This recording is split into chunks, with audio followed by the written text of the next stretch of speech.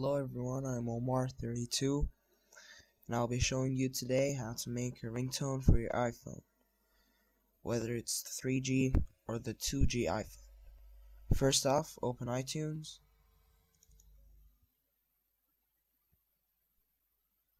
Choose your desired song. Right click it. Click on get info. A window will pop up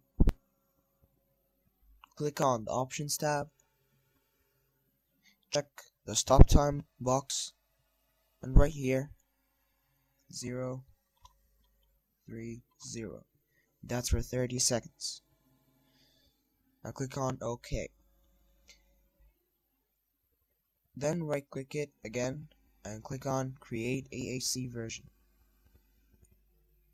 It will say converting the name of your song. say here incomplete. That's the 30 second one. Right click the 30 second one and click on Show in Windows Explorer.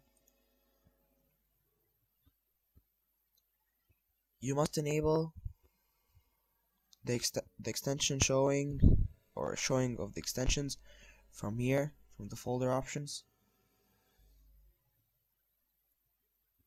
Here it is. Hide extensions for, for, for known file types. If this box is checked, uncheck it and click on apply and OK.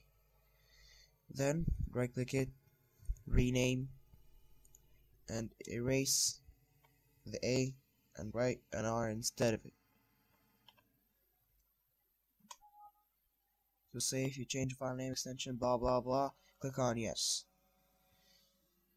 And then minimize iTunes, go to your desktop and drag and drop it to the desktop.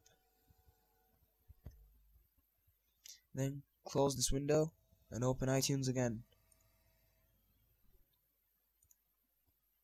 Then go to your ringtones tab in the library and then drag it drag it and drop it onto it. And there you have it.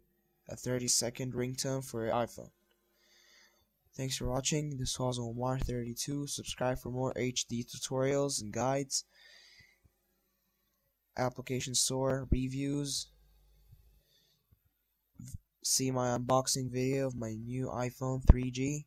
Thanks for watching.